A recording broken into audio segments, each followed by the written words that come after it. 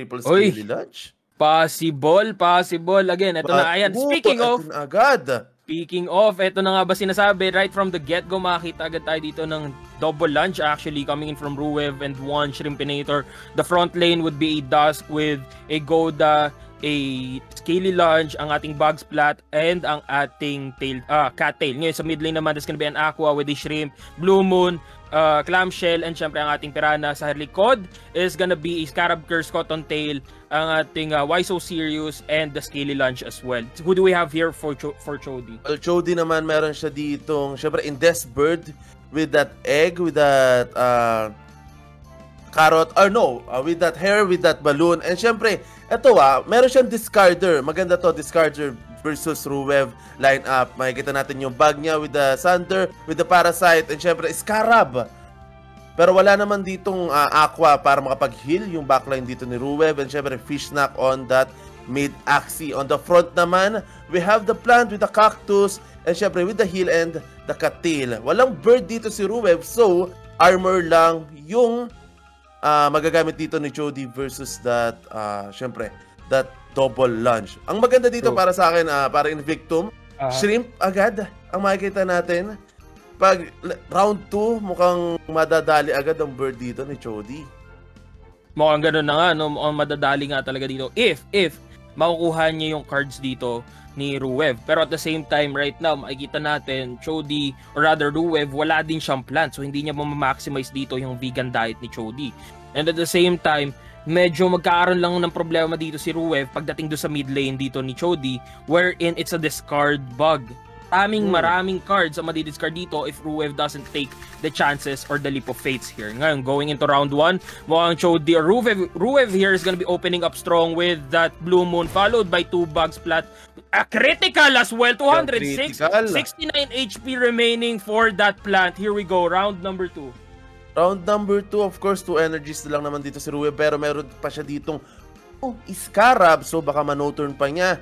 Yung plant, if ever mag-full armor yung plant dito oh. ni Chody. And syempre, naghihintay lang tayo. Meron nang nakahandang 2 Parasite. Yung bag ni Chody. And here we go. Magpo-full nga. Mag-i-skip lang. There's no heal available on that plant because hindi naman plant yung front dito ni Ruev. And mas sagana pa rin. Sagana pa rin yung... Sagana pa din. Sagana pa din. Dust dito ni uh, Ruev. Ang napakagandang skip naman doon coming in from Ruev kasi ngayon hindi gumamit si Chody ng discard cards yung ating uh, Thunderclaw and ang ating mga Parasite.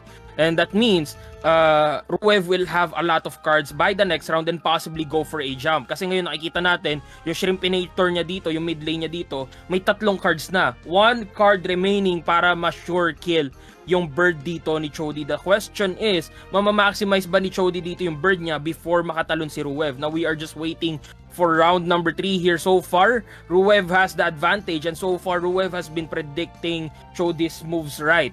Ngayon, yes, pero natin, ano ha, ah, uh-huh. Ma- makikita mo, ready na yung 3 discard card dito Oo, ni Chody. Eh, If ever matanggal yung uh, ditong yung jump ni Ruev, mas makakapag-value yung bird ni Chody. But Uh, energy-wise, makikita natin, mas lamang si Chody, of course. Mukhang lamang na lamang nga talaga dito si Chody, no? Lalo na uh, rather when it comes to ano to energy I think Ruev actually has the advantage here with 4 actually Ruev nga 3 pala yun no? So Chody has the advantage here lalo na going into this round 5 energy siya dito. So that means he can go for a full on burst. Pero Ruev will have that 4 energy na kailangan niya para pumunta sa likod. The question is makukuha niya ba yung isa pang card na kailangan niya para matanggal na itong bird na to from the equation And I think mukhang nag-stop dance muna yung dalawa. Oo nga. Nagtititigan muna sila uh, dito. Masyado sila nag masyado sila nag-ano pre, masyado sila nag-iisip. Baka mamaya mag-overthink kayo siya, mahirap na, mag-away pa kayo. Ay, nako talaga. Match 1 pa lang ha, game 1 pa lang. Oh, Pero in like case we're... of, uh, sabihin natin, 3 discard uh, 3 discard card, for sure, malaki yung chance na ma-discard yung shrimp ni Ruev. Mm-hmm. Actually, that's Kasi possible hindi mo ibabato well. yan eh. Hindi mo ibabato Oo. yan with that uh, three cards. Unless, unless makabunot nga siya this round tsaka niya lang ibabato to. Pero pag hindi niya pa din nabunot, hindi niya binato, like you said, ang laki ng chance talaga dito ni Chody na i-discard lahat ng cards dito or lahat ng um, crucial cards dito ni Ruev. Now that's gonna be really, really, really dire for Ruev if hindi niya to nagamit agad and then Chody just goes in with the discards. Napaka napaka interesting li- so far kasi mm-hmm. at the same time hindi pa na ma-maximize ni Ruev yung mga scaly lunges niya. Hindi niya pa din nabubunit yung mga ano, scaly lunges parang niya. Parang Victor, mukhang may uh-huh. technical difficulties tayo. Oo nga. Sa, ano, ah, sa game natin, tingnan natin if ever baka mag, uh, mag D o may, may DC na isa. Let's see, But, let's see. Speaking of, syempre nakita ko na yung lineups ni Ruev. Uh, surprisingly, shrimp ang inano niya. For sure na snipe niya na yung lineup dito ni Chody. Kaya sabi, okay, may bird ka. Might as well palitan ko yung mid ko to shrimp. Very... Actually, nakikita ko din dito, if Ruev does go for the front here, medyo mahihirapan siya mag-burst doon sa ating bug. Yes. Kasi uh, alam naman natin, Ruev doesn't have the cards or the the class advantage over the cards here, lalo na Scaly Lunge yan. Although masakit pa din yan. Yes, masakit pa din yung Scaly Lunge na yan pag na, pag na-proc mo yung chain reaction yan. Mm-hmm. Pero, Pero at the ano bottom... Lang, uh-huh. Sa bug, medyo, oh, medyo masakit medyo, lang. Medyo, medyo, medyo, medyo, ganun. medyo ouch lang, ganun. Kasi bug yes. yan. And napakataas ng shield potential niyan coming in from the, the the fish sa fish snack yeah, sa ating ano anesthetic bait and syempre sa ating um, scarab curses tsaka sa ating parasite as well. Napakataas yes. ng shield potential niya talaga. But let's talk about muna possibilities dito sa two players if ever syempre magtuloy yung game para sa akin uh, if ever lamang dito si Chody Of course, because of that energy, makikita mo lang energy-wise lamang siya. Lalo na if natanggal niya yung shrimp dito ni Ruev. Oh. Yun lang naman eh. Para sa akin yun lang. Y- yung shrimp lang talaga yun, no? Potential, di ba? yung shrimp talaga, pre. Pag natanggal ni ni Ruev dito or natanggal ni Chody dito yung yung shrimp ni Ruev, malaki yung ma- magkakaroon ng ano dito ng switch of the battle tides. Kumbaga na tinatawag natin dito wherein Chody will have a lot more chances to win against Ruev. Pero the thing is, once na nabutas yung mid lane na yan, yung bug na yan, and the bird becomes open for all sorts of damage, Ruev will actually have a chance to win. Lalo na nandyan yung scaly lunges natin. And nandyan din yung um, shields or yung armor coming in from the YSO series, di ba? Yes, so, pero pero ito, uh, I think uh, they're setting up na guys. Oo nga. Na, na DC lang yung uh, players but we will be for sure uh, going back sa game later on and tutuloy-tuloy na yung match nila. Uh, actually while wait while we're waiting no, I think this would be a good time for us to talk about the what like ano ba what what makes them the player that they are right now like uh, kasi may mga ano tayo dito, may mga kumbaga we've interviewed the players before the tournament itself. And mm. actually we we talked about like what is the meaning behind your IGN. And Jody here answered na my IGN is how my real name is pronounced. Dota 2 and other MMOs. Pero looks like we're gonna be having the oh, replay here. here. Go, man. Here we go. Looks like there's gonna be a jump coming in from round 3 here. Actually, before that, there's gonna be a Peacemaker. Followed here by a Balloon Pop. Goes into the back with the Shrimp. Double Piranha here. That's gonna be the end with the Clam Slash. 129 damage. The Bird goes down. Discards two cards. Ano madi-discard niya? Isang Scaly and isa pang Scaly ulit. Ngayon, wala nang pang proc ng chain reaction dito ang ating si Ruev. Ngayon, magda-damage din siya. There's gonna be a Turnip and a Cactus as well. Yes, pero wala nang masyadong ano ah, advantage yung discard no because napatay na nga yung bird sa likod and nakakuha pa siya ng cards dito with that cotton tail now Scarab on that bug. Bug will not kill this Aqua kalungkutan and now 2 versus 1. Magi-skip ba? Hindi magi-skip.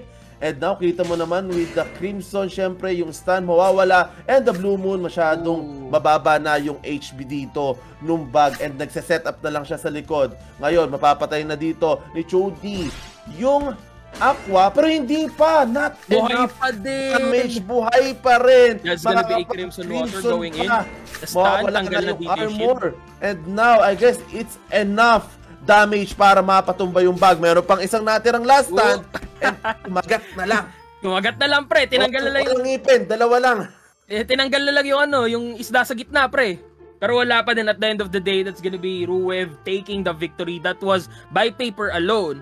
Ruev had the advantage, lalo na dun sa Shrimpinator na yun, where, wherein walang chances si Chody para talunan yung Shrimpinator na yun.